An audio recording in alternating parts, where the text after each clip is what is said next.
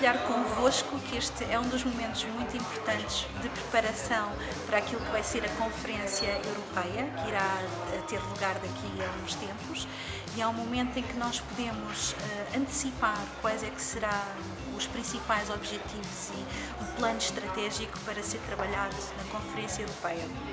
Este também é um momento fundamental para podermos aprender uns com os outros e participar em vários workshops e esse foi definitivamente um dos pontos que eu mais gostei, pois foi uma oportunidade de aprender um pouco mais sobre os hot topics do momento. I think the European Scout Symposium is very important because it's a great networking opportunity for uh, NSOs and NSAs from all over Europe, obviously. Uh, it's great preparation for the conference. It's a, an opportunity to meet and talk about everything that we, we find important and uh, all the topics we want to uh, bring to the table for, for the uh, region's decision-making organ. And uh, also an opportunity to meet people and to talk with the candidates, or potential candidates. So it's it's a great event.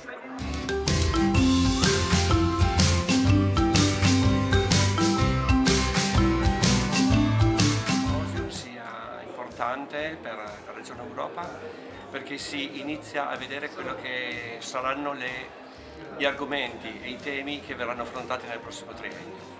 Si fa un'analisi di quello che sono le necessità di tutti i paesi, di tutte le associazioni, di tutte le federazioni e imposta le basi per quello che sarà il lavoro poi alla conferenza europea, per cui si si arriva preparati sui temi e sulle tematiche da affrontare.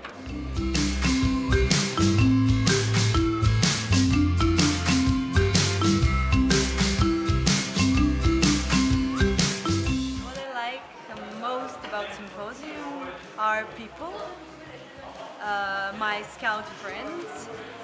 Uh, even though we are working very hard, it's not as exciting as it is uh, on a summer camp, scout summer camp, but I can tell you that it has been really amazing experience.